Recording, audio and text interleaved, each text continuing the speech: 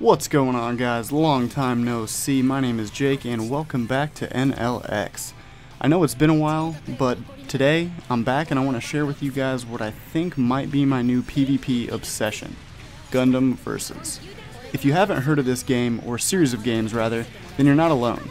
I've been a huge Gundam fan for years, but I only recently found out about this series of games. Apparently, these games already have a huge following in Japan as well as a smaller but equally devoted following here in the States. But hopefully this series will start to get more attention now that Bandai Namco is officially releasing its newest addition to the series here in the States. The footage you're seeing here I captured from a trial version of the game.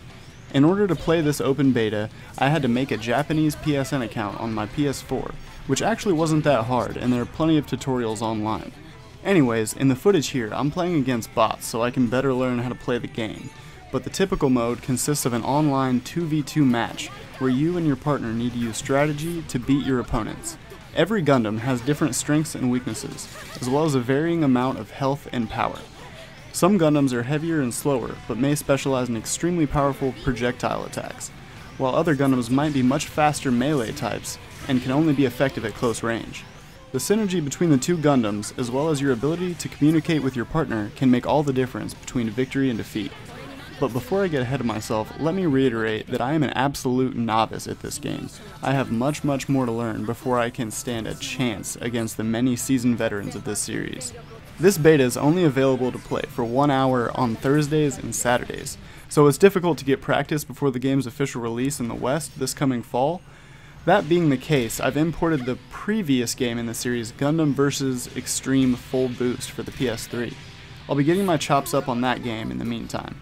Now, obviously my PvP experience has been primarily Dark Souls, but this game honestly has a lot in common with Souls PvP, believe it or not. So basically, you're always locked onto your target, and you're able to simply run around the map if you like.